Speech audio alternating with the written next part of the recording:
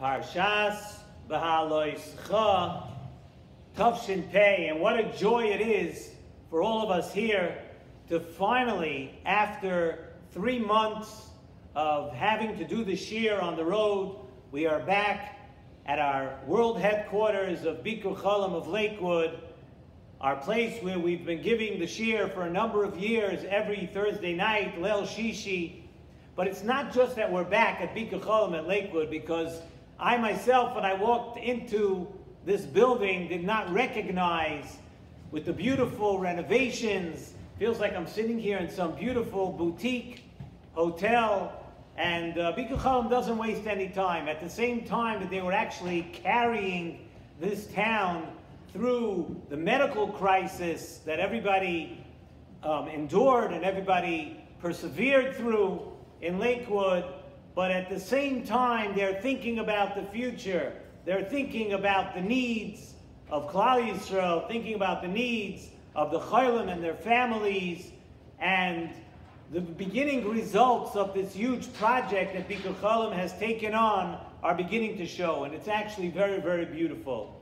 And what a privilege it is.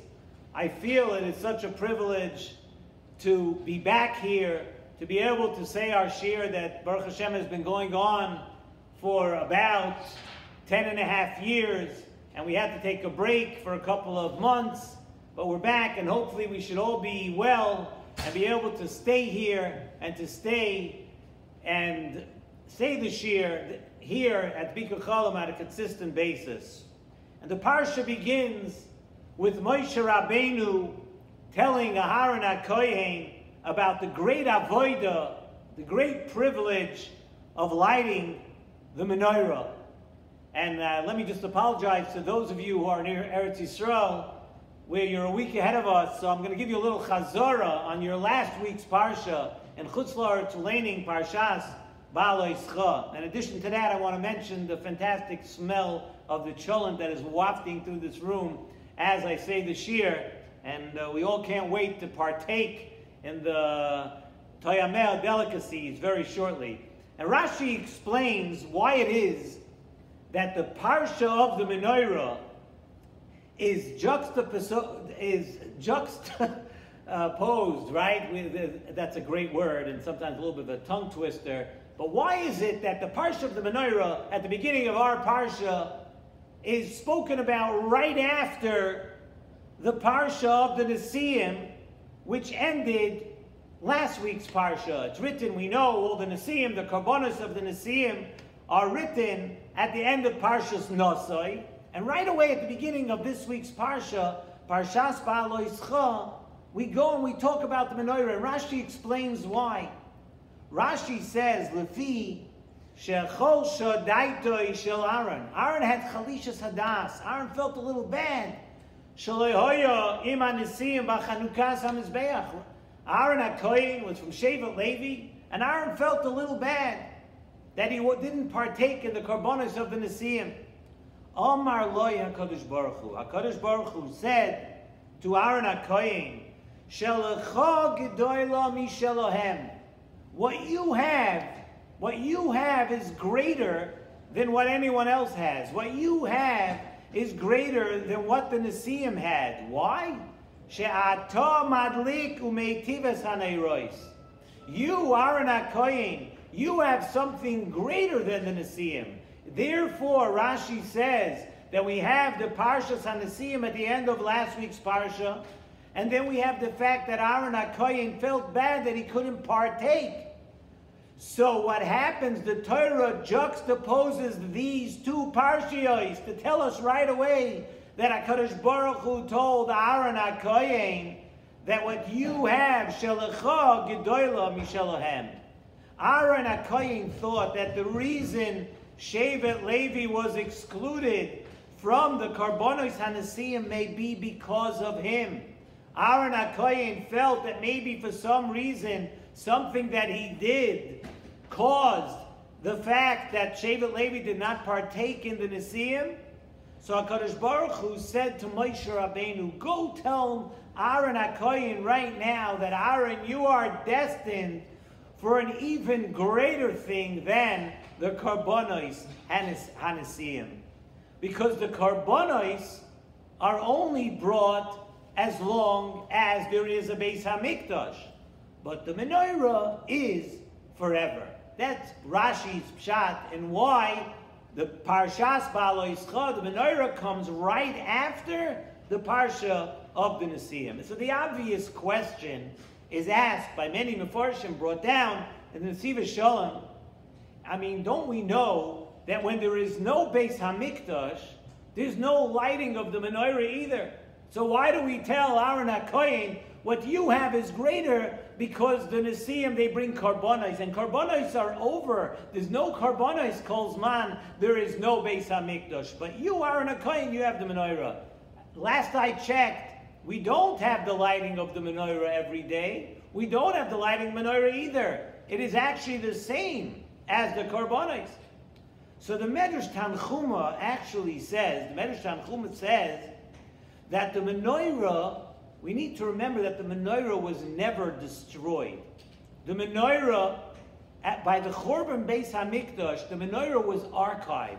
The menorah is somewhere. The menorah was put away. And because the menorah was never destroyed, it's considered as if the menorah is around now too, and that's what the Medrash Tanchuma says. But really, we still need some explanation over here. We still need to understand really the pshat that the menorah is different than the carbonite because we're not lighting the menorah today. So, what kind of consolation, what kind of pacification was this for Aaron HaKoyin?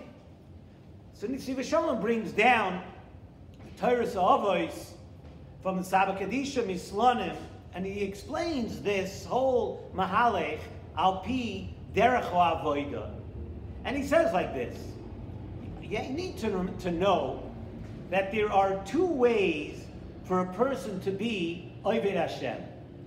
This one person, this one type of person, he's Oived Hashem and he serves Hashem totally L'Shem Shamayim. And he does it totally for HaKadosh Baruch Hu, and there is no pleasure, no reward in what he is doing. There's no pleasure for the person at all. As the Torah says in Parshas Bereshis, the Torah says about Chanoich, very interesting play on words in that pasuk Nesivos Shalom brings down. The Torah says about Chanoich, Vayishalech Chanoich Es Elokim Ve'einenu. So Pasha Pshat in the Pasuk is that Chanoich, it was not anymore, that he had left this world. But Vayishalech Chanoich Esu Elikim Ve'einenu, we say Pshat that it's, uh, it's as if he wasn't in it at all. The way Chanoich served the Kodesh Baruch Hu, by Vayishalech Chanoich Esu Elikim Ve'einenu, was as if he totally didn't exist. He did everything kuloi l'shem shamayim. And we need to know that when a person does avoida for HaKadosh Baruch Hu in that way, it's on a totally different level. There is tremendous nitzchias when a person does something totally l'shem shamayim. When avoida is done totally for HaKadosh Baruch Hu, nothing can derail that. And then we need to know that there's another level of avodah Hashem. And of course, it's not a bad level. But there's another level, another level of Avodah Hashem. We're mixed into it. There's also some hana and some satisfaction for the person doing it. And as we all know, most of our Avodah Hashem would probably fall into that category. We usually have some kind of benefit, some kind of hana, some kind of pleasure, satisfaction, and for the person doing it. And the Nesivos Shalom tells us that we need to know that carbonis, so you see that this is an avoida, this type of an avoida is a very holy avoida too. Carbonis are actually an avoida of the second type. Because there is a portion in the korban that goes for the, for the kaihanim, or for the person who's bringing the korban. So you bring a korban, but the person also has some benefit. You have some pleasure from it. So it is, a korban is of the second type of avoidus Hashem. And even by a korban oila, which is totally burnt on the mizbeach, by a korban oila, the kaihanim actually get the skins of the animal. So we see in such a case, the kaihanim actually get some kind of benefit. Nesivos Shalom tells us something very beautiful. And he says, this is what was being told to Aaron HaKoyin. Aaron HaKoyin was told. What you have, Aaron HaKoyin, in a way, it is greater than what the Nesiim have. He's telling something, and that's something we just mentioned before, about the first type of Avodah Hashem. What you do, Aaron HaKoyin, that has a nitzches. You know why? Because you have an Avodah. The Avodah of the Menorah, you have an Avodah that has no Hana for the person doing the Avodah. That type of Avodah, as we mentioned, has tremendous nitzchias. The schos of that kind of Avodah lasts forever. Karbonos, what the Nesiim did, they do not have that kind of nitzchias. The karbonos of the Nesiim had, of course, a tremendous uplifting experience and a tremendous schus, but it's not an everlasting schus. It is a type of avodah Hashem that the person doing it gets some avodah. The pasuk tells us, "Vayas Cain Aaron." When Aaron got the commandment for the menorah, "Vayas Cain Aaron," what did he do? Kasher tzidva Hashem es Moshe. Aaron did it exactly what Hashem said to Moshe Rabbeinu, the commandment of the menorah. But Aaron did it exactly what was commanded with nothing for himself. Nothing personal, no personal gain or any changes. And with this, we can also actually explain the Ramban, the very famous Ramban. The Ramban tells us that when we say Shelacha Kaim La'ad, it's going about Ner Chanukah. The Ramban says that when Aaron HaKoyim was told that what you have will be everlasting and it's going to last more, it's referring to Ner Chanukah. So with our pshat, we can understand Ner Chanukah is also the type of mitzvah that you don't have hana from. You're not even allowed to have hana from the Ner Chanukah. It is done just for the mitzvah a mitzvah that is totally l'shem shamayim. We have no hana, and you're not allowed to get hana from the menorah. Therefore, Ner is Chanukah. By Ner Chanukah, we say that they are kodesh and ein lonu rishus lishtamesh bahem. We have no rishus to ever use the Ner Chanukah because if you use the Ner Chanukah, you're taking away from that tremendous nitzchias, from that tremendous chus that you have from something that is done totally l'shem shamayim. Ner Chanukah has that exalted level of the or hamanoira, which is totally l'shem shamayim.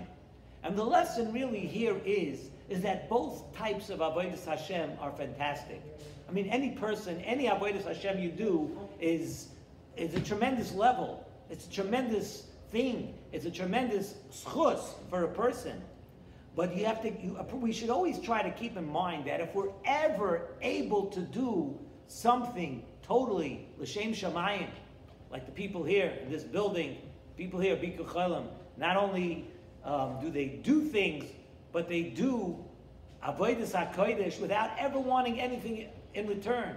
You see, there are people that are so dedicated, and if we ever have a chance, we ever have a chance to do something l'shem shamayim, we should grab that opportunity because you understand that when you do something l'shem shamayim and you take yourself out of the equation, as Aaron HaKoyen did by lighting the menorah, the Torah and Achachamim tell us that it's a schus that can resonate for yourself forever and for generations to come. It's a tremendous, tremendous chus that not many of us have the opportunity to grab onto. So if we see that we could do something l'shem shamayim, where you don't ask for any to be paid in return, you don't ask for a favor in return, you're able to help somebody out, and you know that person will never be able to do anything for you. He'll never be able to pay you back, never be able to do something for you. Grab that opportunity because you have the opportunity to grab onto a schus that can benefit you and do something for you forever. The real benefit, a nitzchias benefit. And that is the lesson of the menorah. The lesson we learn from Aaron HaKoyin. The lesson we learn about doing things l'shem shamayim.